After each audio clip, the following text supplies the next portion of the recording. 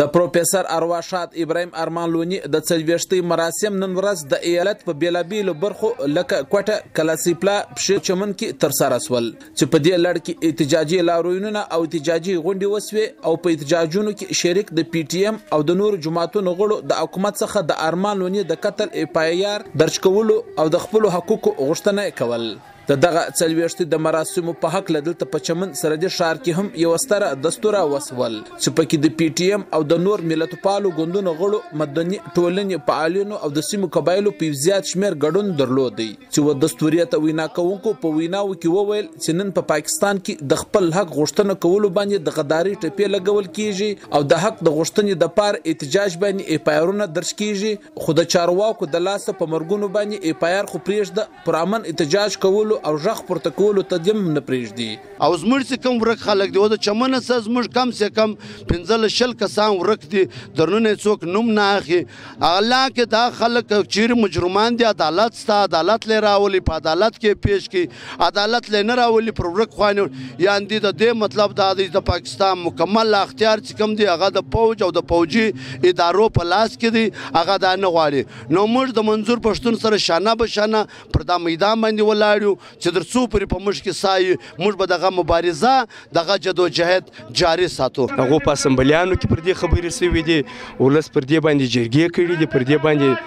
مظاهرې سوي دي خو موږ دا یې وایو چې موږ چې دا زړه درد کوي یا پښتانه چې دا جوش او ولوله کې راځي هغه پر دې باندې وایي چې باید موږ ملکیان خلک یو موږ بسیات دلته یو قام اوسېږو ولې زموږ سره دا رقم وسي. تېره هفته د سېنېټ سټېنډنګ کمېټۍ هم دا فېصله وکړه چې خو د دوی پايار به کاټېږي لېکن بيا هم د رياستي ادارو له خوا څه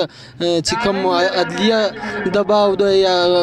مطلب پليسو هغه دباو دي در اوسه پورې دا پايار نه دی کاټ شوی. موږ څه غواړو؟ موږ د رياست څخه دا سوال کوو چې ارمان لوني پر څه شي باندې شهيد شو؟ چې دی شهيد شولو بيا د ده پايار له د ده ډېډ باډۍ ولاړله. د د ایف آی آر له ډاکټران ته بیا د دې سړی ولاړ دی او هسپتال ته بیا د دې سړی ولاړ دی د د پوسټ مارټم رپورت نه ورکوي څلوېښت ورځې کېږي د د پوسټ مارټم رپورت یې نه دی ورکړی د ټول ملک په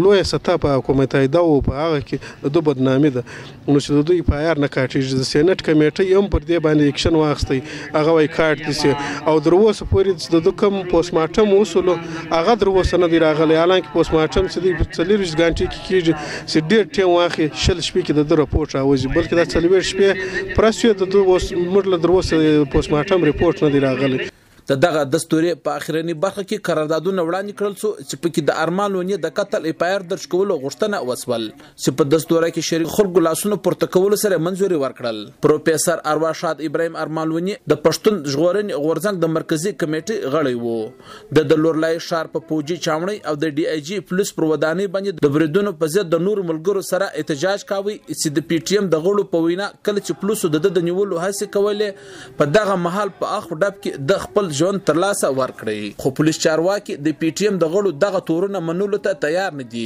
دوی وايي چې کله پلوسو د ده د نیولو هڅې کولې په دغه مهال د زړه د دورې له امله ده خپل ژوند تر لاسه ورکړی خو د پاکستان د سېنېټ د کمېټۍ په یو اجلاس کې شریک سېنېټرانو هم د حکومت څخه په تېرو شپو کې د ارمان لوني د اف آی آر درج کولو غوښتنه کړې وه خو تر اوسه دغه اف آی آر نه دی درج شوی